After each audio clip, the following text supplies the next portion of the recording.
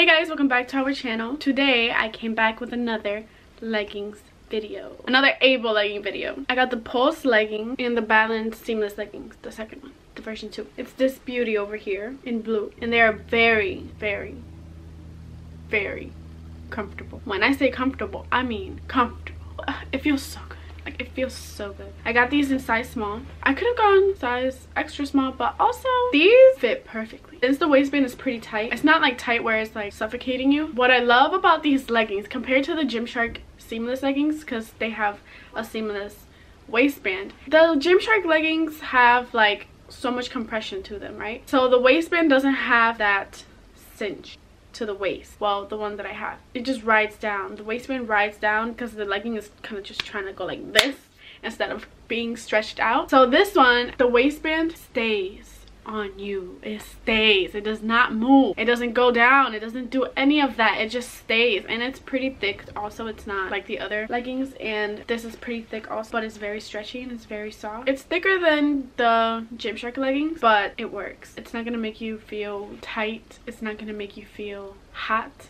and warm. It's gonna let you breathe and it's gonna let you stretch because this shit is stretchy and I love it. These are a lot harder to okay.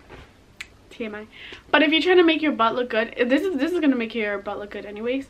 But you know how when you do the seamless leggings you kind of pull them up your butt just so you know just so you can have some shape and not have a, a uni butt where it's just one big ball basically? These are a lot harder to kind of shape your butt but you'll see. It's not that bad. You'll still look good. I did not have a camel toe with this I did not have any toe issues. And I also didn't have that issue that you have when you have seamless leggings that it kind of just shapes your, your area.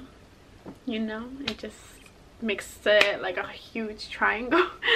okay. They have a logo right here on the side like they always do and then a logo in the back like they always do as well. I'm definitely gonna get a lot, a lot, a lot more in this collection. It's so freaking good. For the pulse legging you will see that they're a little bit i got size small in them too but you will see that they still fit but i would go for an extra small the next time that i buy them because i'm definitely gonna buy those two just in a different color in a different size too because they feel like you're wearing nothing. I didn't understand when these girls would talk about yeah they just feel like they're i'm not wearing anything. I'm like how, uh, what do you mean? What do you mean? It doesn't feel like you're wearing anything. Is that even possible it's possible because of the material. I didn't understand them. I didn't even expect the material to even be like that. A lot of the girls were saying it was more of a compressive material and this was more of a stretchy material because obviously it is a stretchy material but the other ones are also very stretchy and not so compressive in my opinion. Maybe it's the size as well. They're very breathable. They feel like normal leggings, like normal leggings.